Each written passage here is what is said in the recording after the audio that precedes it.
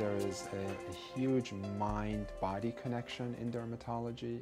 We find more and more that stress plays an enormous part in the skin conditions that patients present into the office with.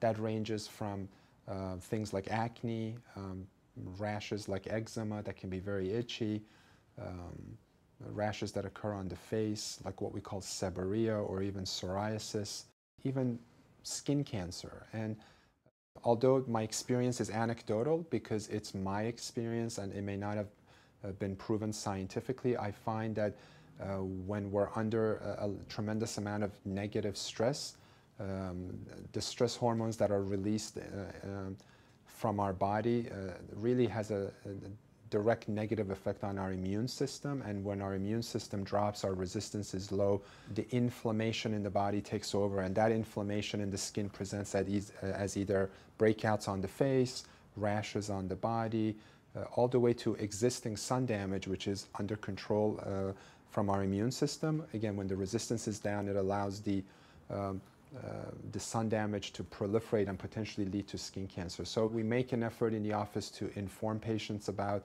how important uh, emotions are uh, in terms of keeping their skin healthy uh, and how um, stress can lead to so many skin issues.